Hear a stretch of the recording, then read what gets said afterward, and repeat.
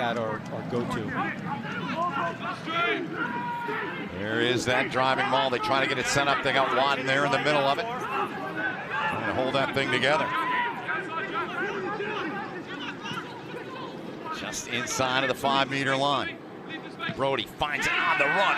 Easy walk in there, and that one's put away. Guiseppe Toit puts it away. Like he was shot out of a, a bow, the arrow right into the try zone. It's 20 to nothing. And there we see, we talked about du Toit and how he's a playmaker, but he's also a great runner and effective. And we can see right here from the great, a great uh, angle where we pull it out, we're going to see the, the initial maul kind of dissipate.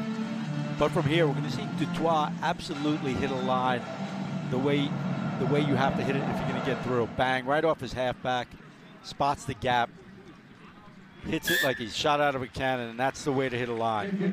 If you're going to have a line break, and for Dallas's part, you know, like we said in the beginning, you got to bring confrontation and physicality here, and it, it can't be that easy.